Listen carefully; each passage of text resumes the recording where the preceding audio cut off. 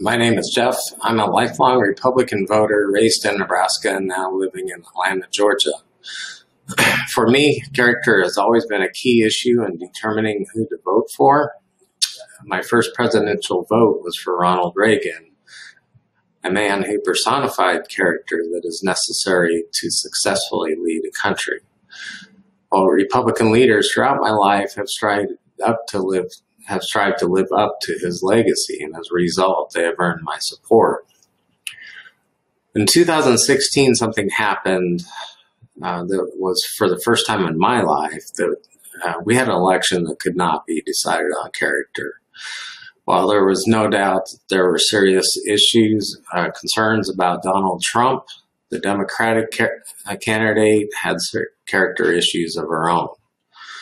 The factor that finally determined my vote was a belief that the Republican Party would influence Trump more than Trump would influence the party.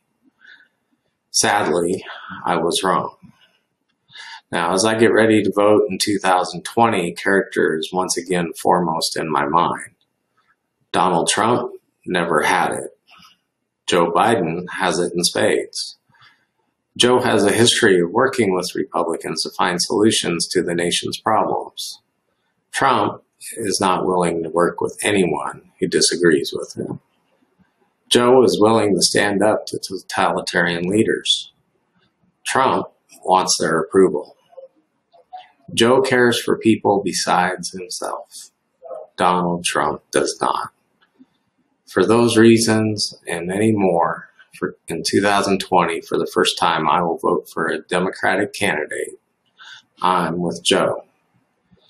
Now, if I could say just one more thing, Trump's presidency has not only revealed his own character, but also the current Republican Party who has enabled him at every turn.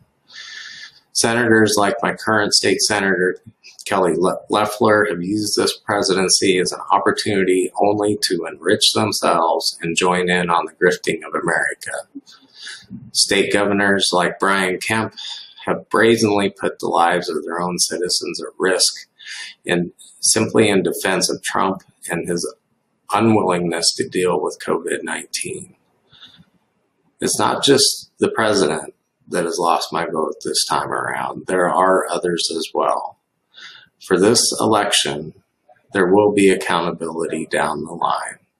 A message needs to be sent to all that character matters.